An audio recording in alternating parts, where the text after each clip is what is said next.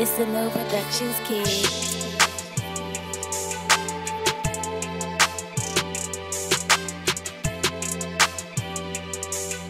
Don't act like you don't know. It's a no on the track.